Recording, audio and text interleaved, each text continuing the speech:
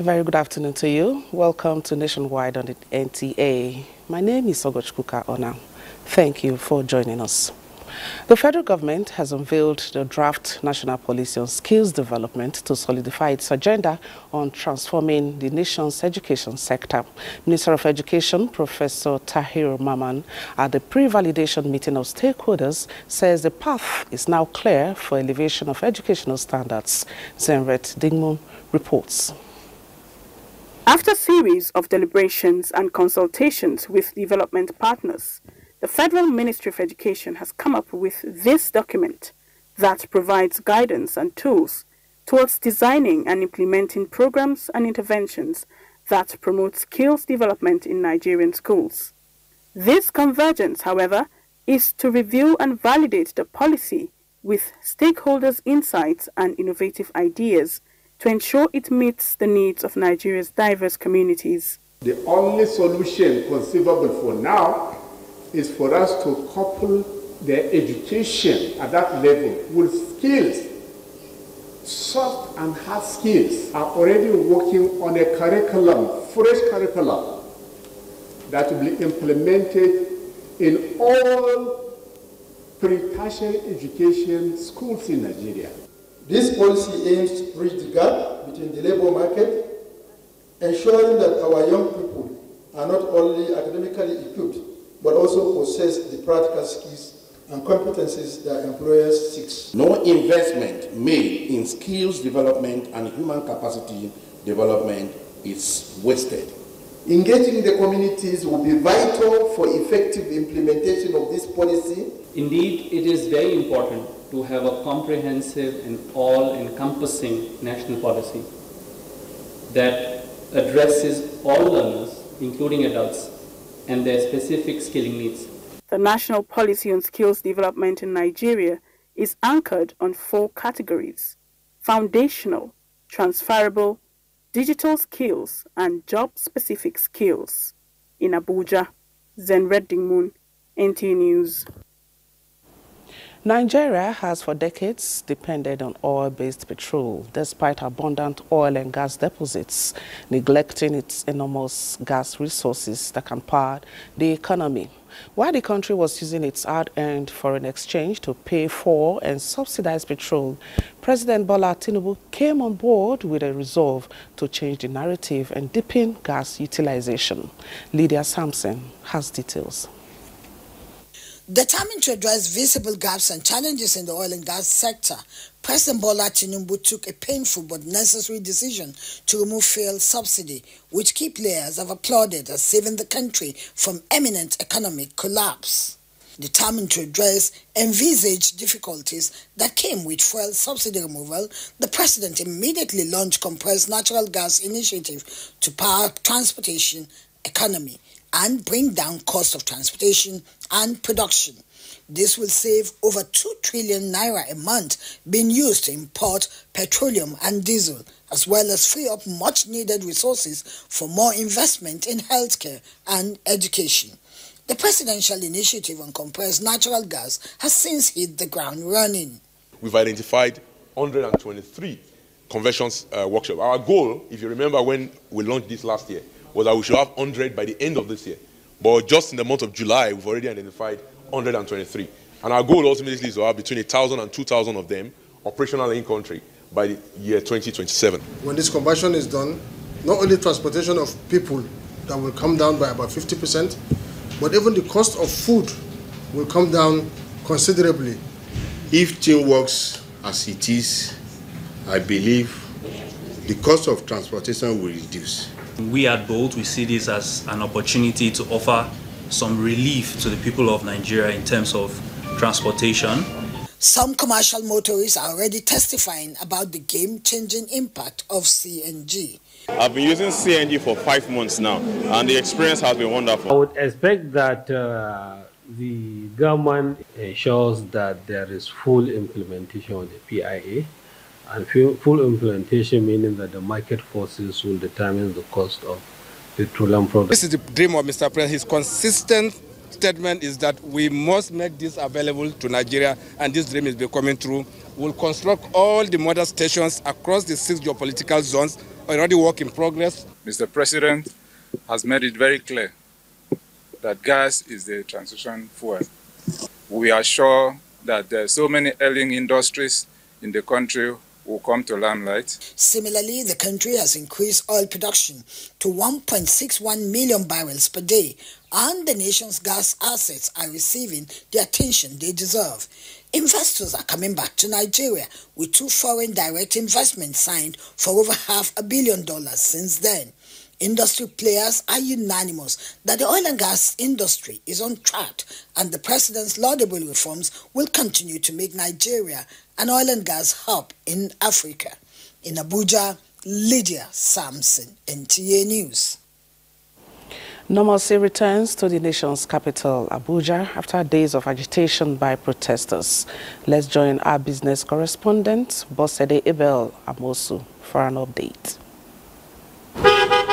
The usual hustle and bustle for daily bread is returning to this part of the metropolis known as Area 10 UTC, one of the busiest business hubs in Abuja.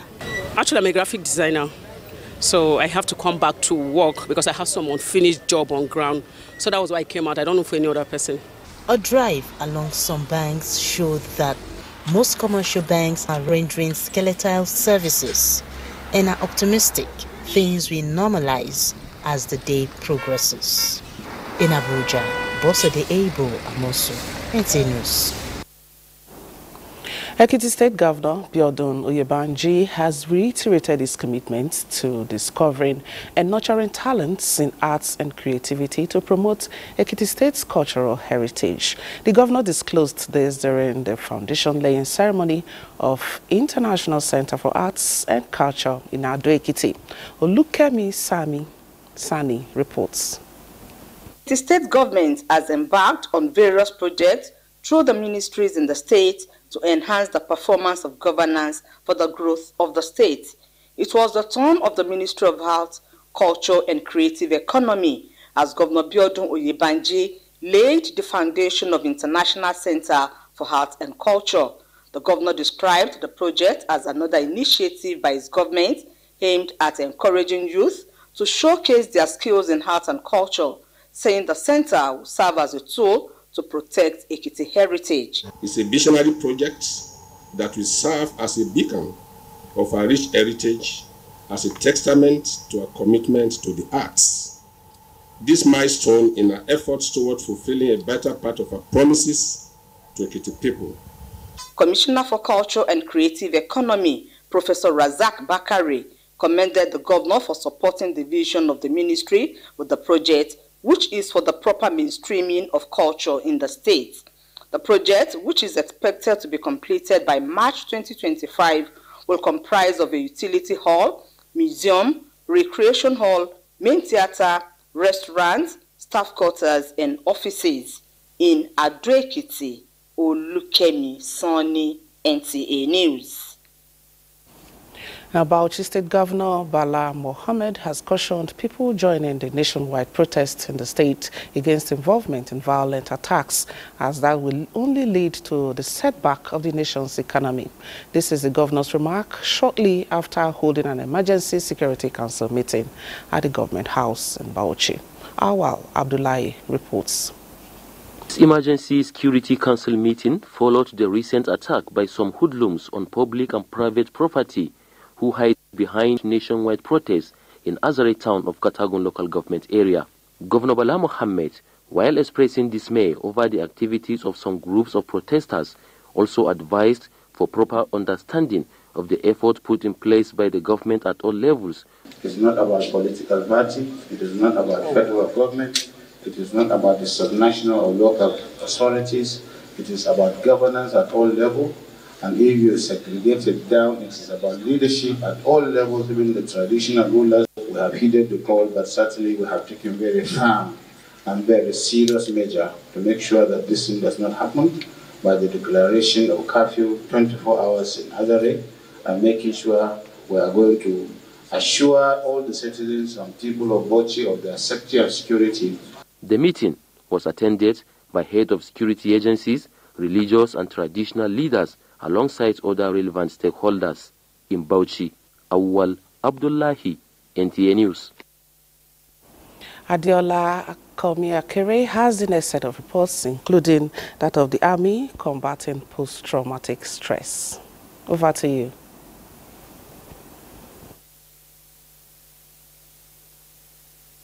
Ogochukuka and welcome to Lagos.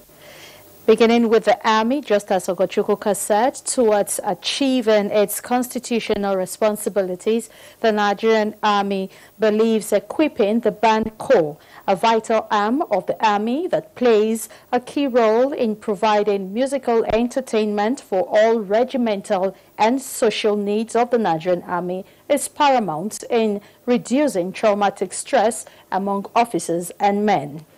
Chief of Army Staff Lieutenant General Taoreed Lagbaja stated this at a gathering marking the 8th Army Band Corps Conference in Lagos.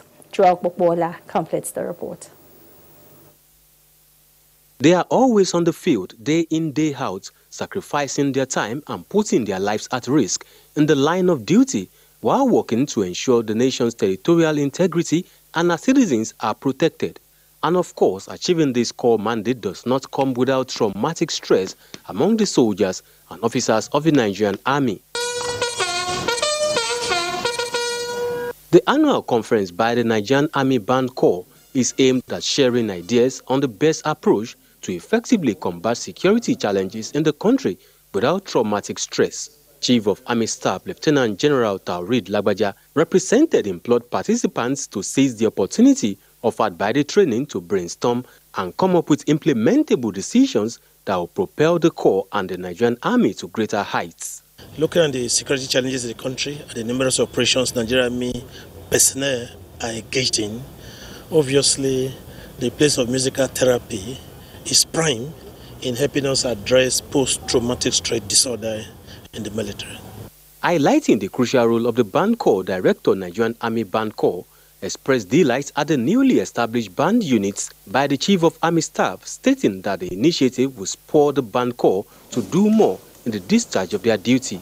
The annual conference with the theme Musical Therapy, a panacea for combating the menace of post-traumatic stress disorder in the Nigerian Army was an opportunity to take stock of the achievements of the outgoing director, Army Band Corps, Brigadier General Gerald Nosike, who is bowing out of service. The outgoing director urged officers and men to remain loyal and respect constituted authority in line with the ideals of discipline synonymous with the Army.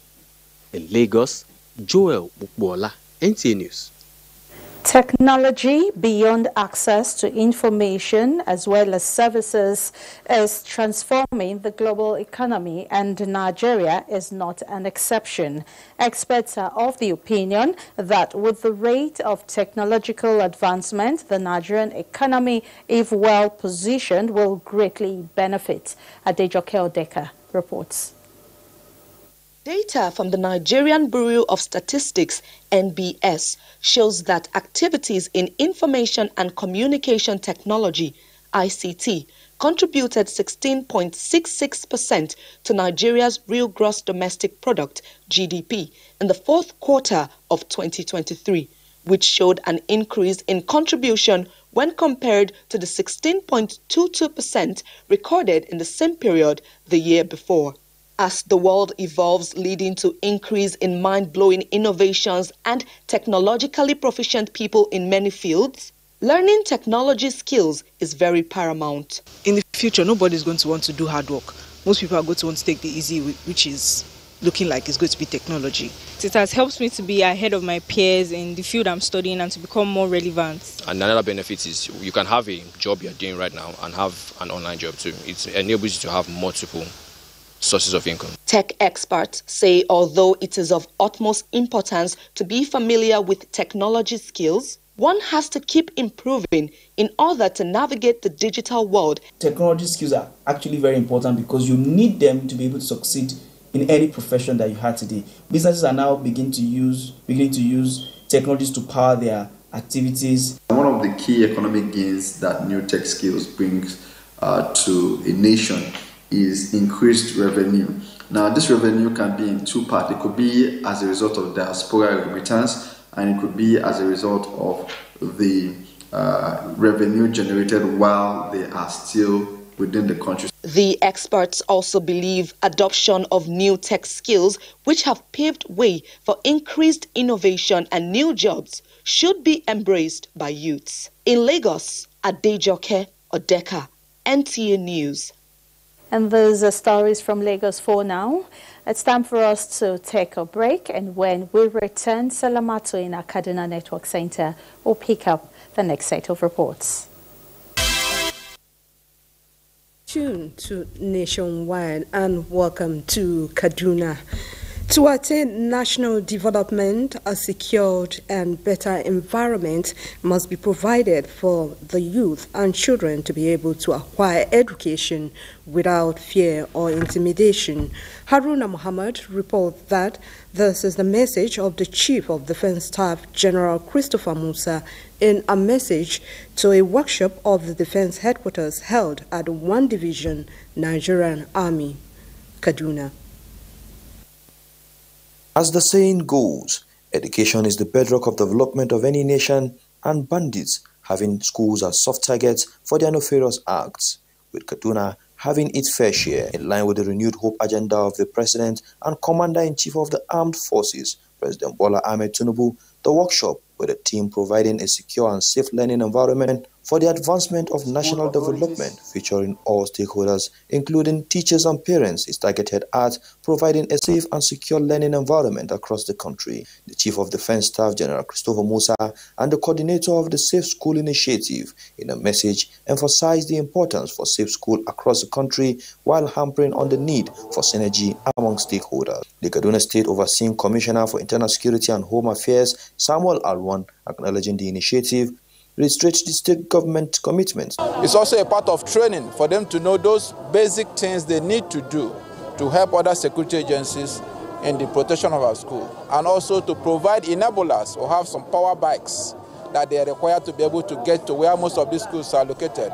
We also have communication equipments we need to issue out to them to make it seamless in case they have to respond. We don't plan to respond, we want to be proactive but just in case we need to respond, let the troops know what they're supposed to do. It now becomes imperative for all critical stakeholders to come together under one umbrella so that we can be able to ensure that the atmosphere for learning is conducive, free from threats to uh, education. Motorcycles and gun bikes were launched to further enhance the operation. In Kaduna, Haruna Mohammed, NTA News. Away from Kaduna, Kano State government has launched the first phase of its maternal, newborn and child health week targeting 3 million children and 3 million mothers. This initiative aims to provide and preventive services including free maternal care, vitamin A supplements, immunizations, deworming for children and free antenatal services in all the 44 local government areas of the state. Let's hear more from Elizabeth Yila Lamido.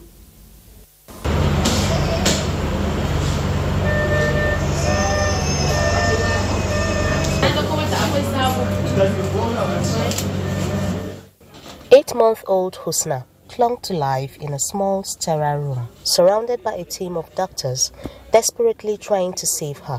Her mother, Rukaiya, sat beside her, tears streaming down her face, feeling the profound helplessness of watching her baby fight for every breath. What could have led to this heartbreaking scene? Husna had been admitted to the intensive care unit of Angua Oku Primary Health Care Center with a severe case of malnutrition. Despite the medical team's best efforts, Husna's frail body couldn't endure the battle. Rugaya's wails echoed through the hallways as she carried her lifeless child home for burial. This tragedy could have been prevented with timely medical care. Probably um, they've been taking the child to patent medicine vendors instead of hospitals, and then they'll present here late. So, such late um, presentation tends to worsen the patient's prognosis. Husna's story is sadly one of many. Babies with malnutrition are brought to hospitals late, displaying various symptoms, some emaciated, others with swollen limbs and distended bellies, classical signs of kwashiorkor. In the most severe cases, their skin breaks into painful lesions. In response, the Kano State government, in collaboration with development partners, has launched the first phase of the Maternal Newborn and Child Health Week. This initiative aims to provide free maternal services to over 3 million women and immunize more than 3 million children in a week-long campaign. We are set to decentralize and expand community management of acute malnutrition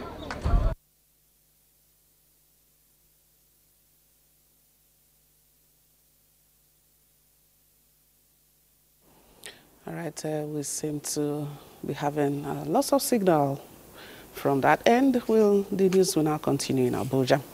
Normal activities are gradually returning around Abuja city with security relaxed at strategic places such as the Eagle Square and its environs. Our correspondent Joseph Otsin has an update from the Abuja Central area and Moshood Abiola National Stadium, venue of the protest.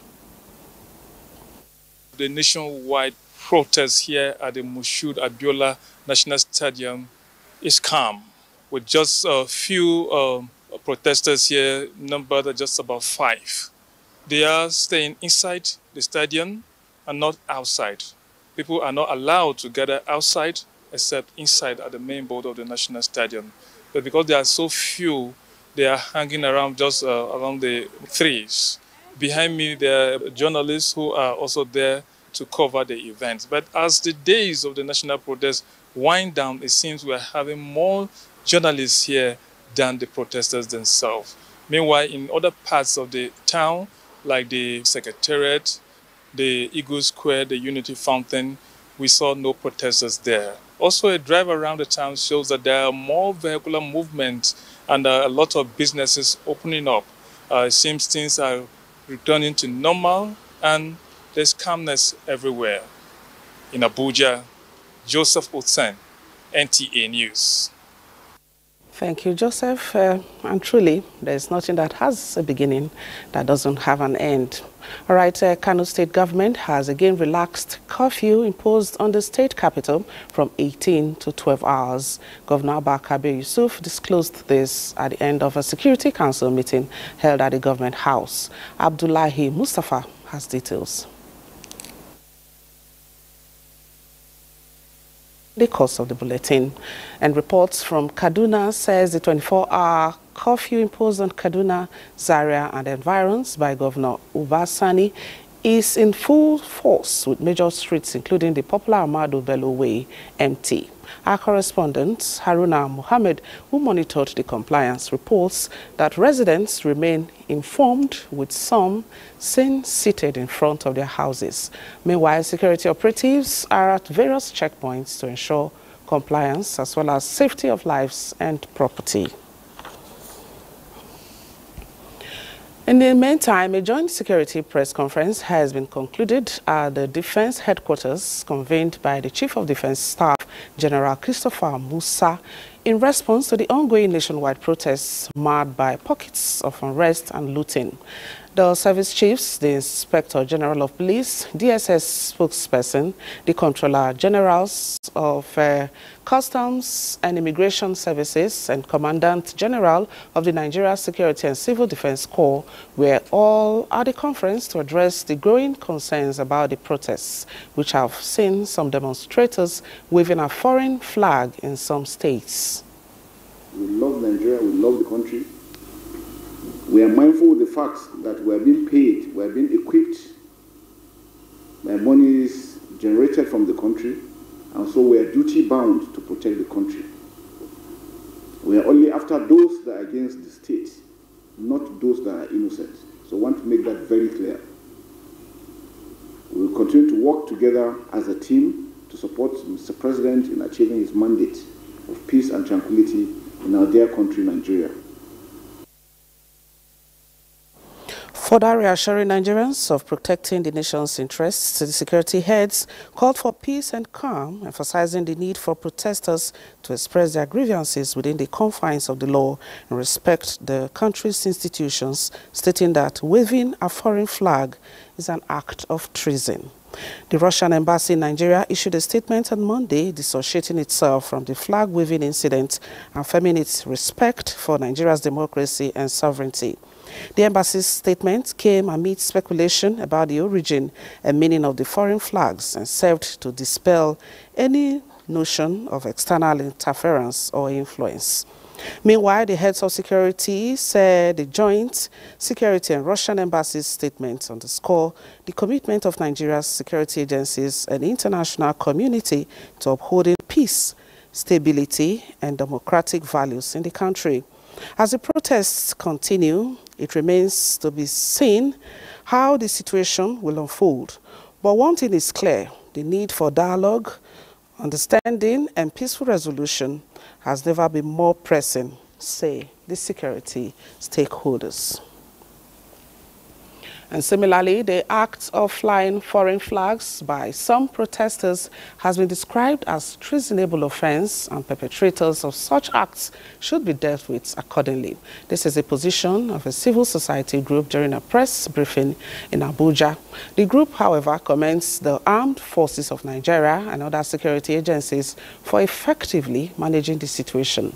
The group appeals to organizers of the protest to suspend action for Nigeria's interest and give room for dialogue.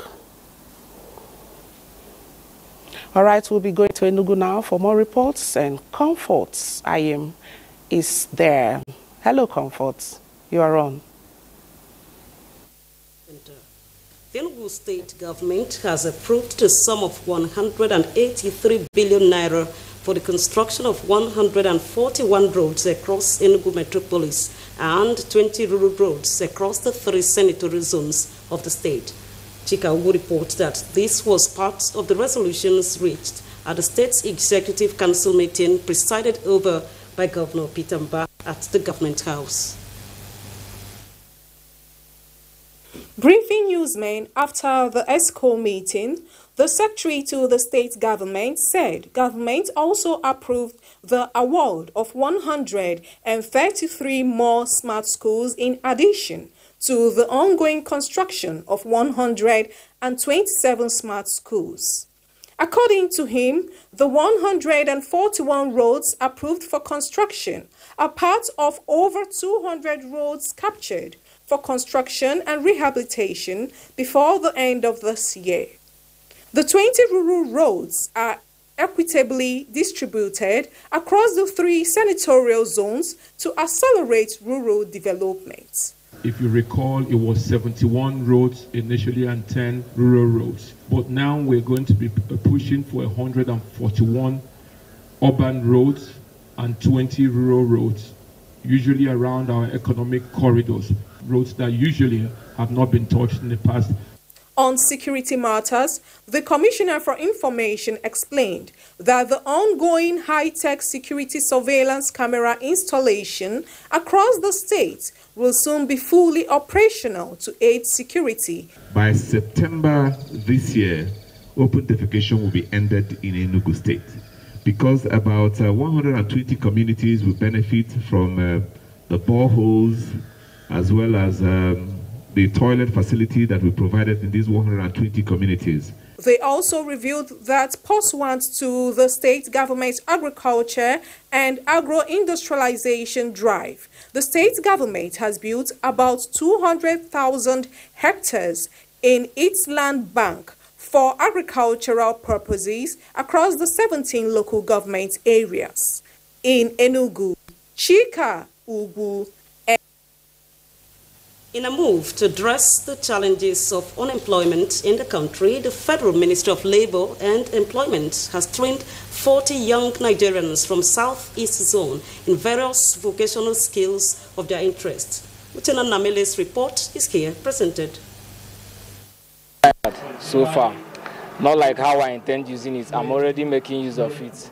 The advanced uh, training that, that went. Even before this uh, graduating ceremony, I've been able to execute projects using what I was taught, using the skills I garnered here. I thank the federal government of Nigeria. I thank the labor and employment unit. In short, I'm more than grateful. Although I've gotten an experience of catering before, but through this training, it was upgraded. These are some of the beneficiaries of the Federal Ministry of Labor and Employment Vocational and Skills Acquisition Training for youths in the Southeast Geopolitical Zone. And we are trained on various skills such as pipe fitting and plumbing, hairdressing, body care, tailoring, hotel and catering works, amongst others. The State Controller and Director, of Federal Ministry of Labor and Employment, Mr. Chuka Omona, explained that the aim is to create employment in the country. We train you first, issue the certificate to you. You can use it all over the world because it is recognized. We're also empowering them, which will go a long way in making sure that uh, they start off. They can on their own train other people they can on their own add value to the economy of this country. The principal Skills Upgrading and Vocational Training Center SUVTC and the instructor Plumbing and Fitting both encouraged the beneficiaries to make judicious use of the skills acquired. There were goodwill messages from stakeholders as well as presentation of certificates to the graduates. In Enugu, Susan Eze, NTA News. And as a package from Enugu, let's now take you back to Ogochukwu in Abuja for more reports on Nationwide. Ogochukwu. All right, thank you very much, Comfort. So we'll be heading to Makurdi now, where we have Charles Alba. Okay, Charles is not ready at this time. The news continues in Abuja. Information and Communication Technology, ICT, has been identified as a critical component for optimal healthcare delivery in Nigeria as the world strives for sustainable healthcare coverage. This is the focus of the training for continuing professional community healthcare delivery for tutors in the Northeast held at the Modibo Adama University, Yola. Simon Asha reports. The role of primary healthcare practitioners in providing healthcare service delivery to the doorsteps of the people, especially grassroots, cannot be overemphasized as the first line of defense against all kinds of diseases. Hence, the need for them to be trained and equipped with modern technical know-how on disease diagnosis, prevention, and treatment in tune with changing times. Therefore, the 2024 mandatory continuing professional development program for primary healthcare tutors in the Northeast with the theme Innovative Approach for Transforming Primary Healthcare Tutors, Career Integration, ICT Skills, Imperative for Collaborative Learning and Sustainable Universal Healthcare Coverage is to serve as a platform for knowledge exchange and capacity building of participants. The purpose of this training is to uh, be updating the knowledge and the skills of our primary healthcare tutors uh, from time to time in order to go in accordance with the uh, current training and uh, services they are going to provide in their various institutions. Resource persons took turn presenting topics on leveraging technology to enhance maternal and reproductive health, hands-on training on national examination software, computer-based training, principles of infection control, cancer screening, and risk assessment are said to be carefully chosen to address the pressing needs of healthcare system in the Northeast. We also give the students the knowledge that they will have to ensure that they stand the test of such challenges. With the aim of ensuring quality training so that we have a more competent health manpower. If you get it right there, then the number of patients coming to secondary and tertiary healthcare institutions will be remarkably reduced. At the end of the training, the tutors are expected to step down the knowledge gain in their respective states for optimal healthcare delivery in the society. In Yola, Simon Asher, NT News. We'll be talking roads infrastructure when we return after the break. Stay with us. Following non-performance, uh, some road contracts were terminated with many others undergoing review. This has brought life into many abandoned road projects. But calls for the restarting of road projects, especially in areas under security threats, are becoming louder. Abdullahi Mohammed reports. Are falling down and the contractors are playing in okay. The ugly scenarios and the urge to make road transport a lot easier for the common man was behind the move to terminate non-performing road projects across the country. But this hammer did not spare projects in areas under security threats, and the people are counting difficult days. It's one of the roads that links the frontline local governments of insecurity in this state most especially here in Kankara, is one of the endemic areas of insecurity. So we are appealing to President Bola Ahmed Tinubu to please ensure that we are making our passionate appeal to please ensure that this road construction will be completed. Along this road, from Maraba Kankara to Kazana, there have been so much banditry. So we want the federal government to take a serious action Kankara Dusama Roads in Katsina State crisscrosses about seven local government areas to Niger Republic. In Abuja, Abdullahi Muhammad, NT News.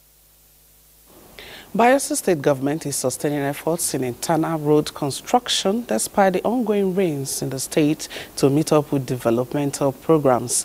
Timinepre Ohia reports that this came to the fore when the Commissioner of Information and that of Works jointly embarked on inspection of ongoing road projects in the state. Deficit road infrastructure is the bane of development and with initiation and construction of roads and bridges by the Bayelsa State Governor, Senator Doye Diri, is a testament of his administration's commitment to developing the hinterland and ensuring access to medical facilities. Commissioner for Works and Infrastructure, Moses Teibowei, and his information counterpart inspected some of the major projects being executed by the prosperity government of Senator Doye Diri to include the 630-meter Yenagoa Oporoma Angiama Bridge, which upon completion will link up over 200 communities in the southern Ijo local government area. Others are the Akaba Okodi Road, Glory Drive Phase 3, Etegwe New Market, new legislators' quarters, and major roads within the new Yenagoa City. I strongly believe that by the end of next year, all the dual carriage roads within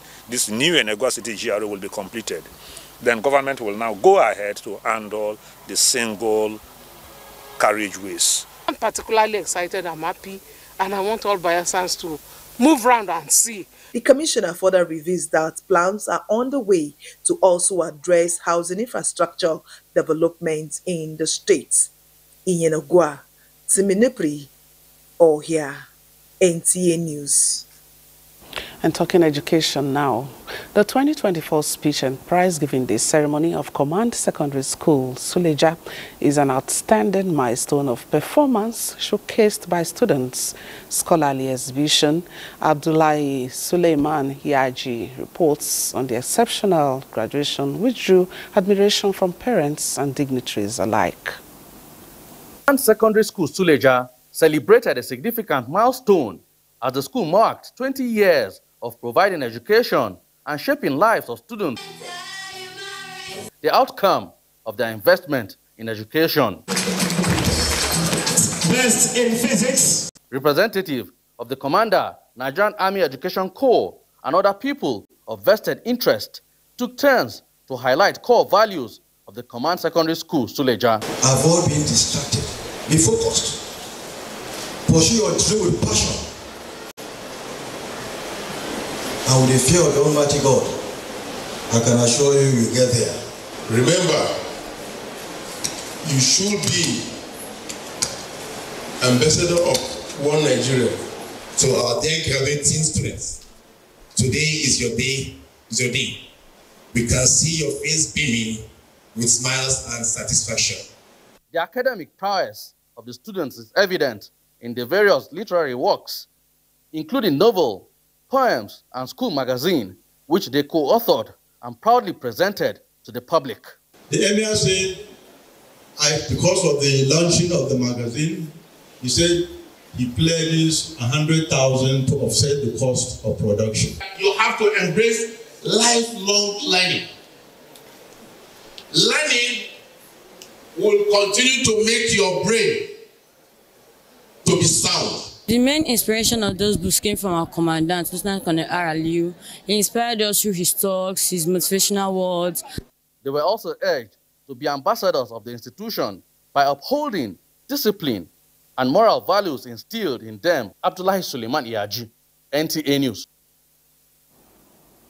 Education in this present time and age should go hand in hand with teachings of morals, virtues, and sound religious values that will groom children to be disciplined, patriotic, and good citizens. This was the take-home for participants of the 2024 graduation on the Journey of Faith conducted by the National Council for Women's Societies in Abuja. Monso Demian Dati has details.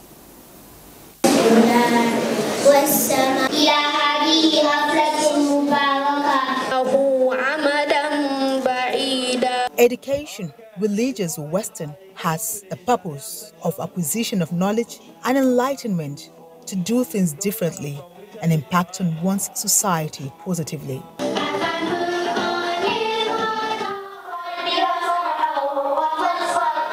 I still have a lot awaiting for me, but still I'm very happy. Work hard and never give up.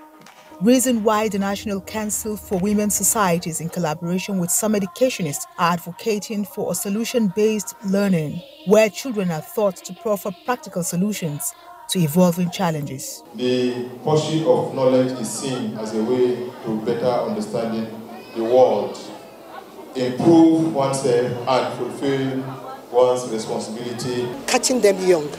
So, and when you catch young, you instill your principles into them. But with the help of the school, she was able to put her words together. Their spoken English is very good. She's even writing a book. The school has properly prepared her for the future ahead. For these stakeholders, it is essential to arouse in young children interest in new discoveries while instrumentalizing knowledge with updated paradigms. Momso Damien Ati, NT News. Meanwhile, in Kano, the Kano state government uh, has again relaxed curfew imposed on the state capital from 18 to 12 hours. Governor Abba Kabir Yusuf disclosed this at the end of a Security Council meeting at the government house. We now join Abdullahi Mustafa for details. As usual, the Security Council meeting was held behind closed doors. Led by Governor Abba Kabir Yusuf, the meeting had in attendance heads of security agencies in the state. The end of the security meeting was the beginning of that of the State Executive Council. It was at the Executive Chamber that the governor announced the decision to review the curfew from 18 to 12 hours to enable residents to continue their daily engagements between 6 a.m. and 6 p.m. The government is doing everything possible to ensure that our youths are empowered to become self-reliant. More than 600 suspects were arrested and been detained by the Kano Police Command. Due to the large number, three chief magistrates were deployed to the police headquarters to handle the trial. Because of the uh, weight of the allegations involved, all of them will have to be remanded and uh, subsequently uh, trial will uh, continue. While prosecution continues, Governor Yusuf's spokesperson Sanusi Dawakin Tofa disclosed plans by Kano state government to constitute a commission of inquiry into the violence. In Kano, Abdullah Mustafa, NTA News. And now sports. Hope prizes for Olympic medals as Nigerian athletes hinge close to podium finish. Olumide Eguntola has more on Sports Update. Nigeria's Ese Brume, Ruth Usoro and Prestina Ochonogor are through to the final of the women's long jump event at the ongoing Paris Olympic Games. Brume hit the automatic qualification mark of 6.75 meters, limping 6.76 meters, while Ruth and Prestina qualified as part of the top 12 performers with best jumps of 6.68 meters and 6.65 meters, respectively. The final is scheduled for 7 p.m. Nigerian time on Thursday, 8th of August. Still on the Olympics, United States of America team is on top of the medals table at the ongoing Paris Olympic Games Tuesday with 21 gold, 30 silver, and 28 bronze medals. Meanwhile, Nigeria's favour Philly and Blessing Oborududu will be the signature of all eyes Tuesday as Team Nigeria attempts to get on the medals table. Ofili will attempt to become the first ever Nigerian African sprinter to win the 200 meters Olympic gold medal after Mary Onyali's bronze medal feat 28 years ago in Atlanta 1996 Olympics. Ofili takes on World Super Paras Tuesday at the final of the 200 meters event. Nigerians Nigeria's Tobi Amusan will begin a campaign on Friday when the women's 100 meters hurdles will start. In another news, Kehinde Lamidi reports that the United States government is upgrading some facilities at the Akure Stadium. The State Commissioner for Youth and Sports, Saka Ogunleye, who disclosed this, promised that the state government will further motivate the athletes to perform brilliantly at the forthcoming National Youth Games and the National Sports Festival. Mr. Governor graciously approved the upgrading of this sport council. But we are talking about upgrading. We are trying to upgrade our facilities that's obsolete. We have listened to our coaches here and there. We also identify with them. With sports update, Olumide Eguntola, NT News. And that's Nationwide today. Thank you for watching. Do have a blessed evening and remember to stay safe.